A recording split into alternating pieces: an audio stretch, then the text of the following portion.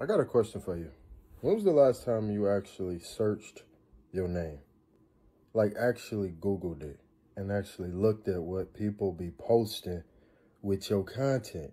Like it kind of blew my mind. I didn't really know how to feel about it or what to think about it. It just made me be more aware about what I'm posting, even the comments that I'm saying out on there. Because um, when I saw this, take a look at this right quick.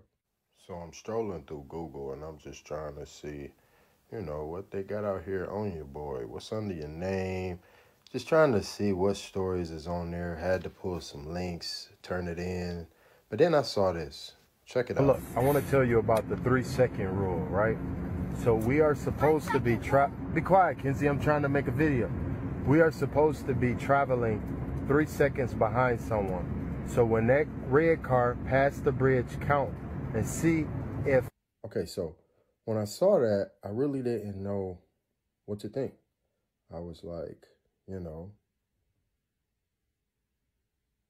cool, I guess. Great. But it also showed that they watching. They watching for sure. So stay ready. And if you stay ready, you ain't got to get ready.